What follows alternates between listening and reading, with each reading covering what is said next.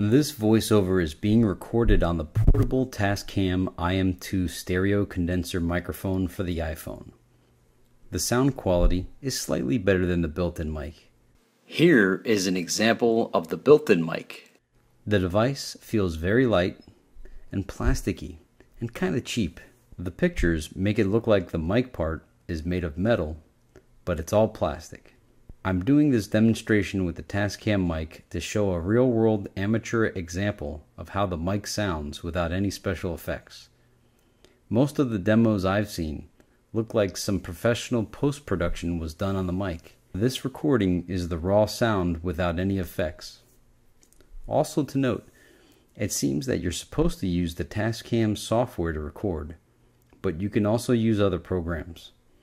I paid $40 for this mic but I feel that it's worth about 25.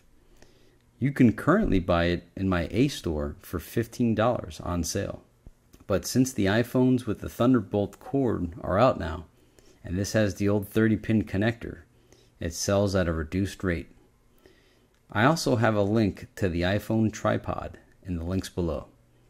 Be sure to subscribe to Technuba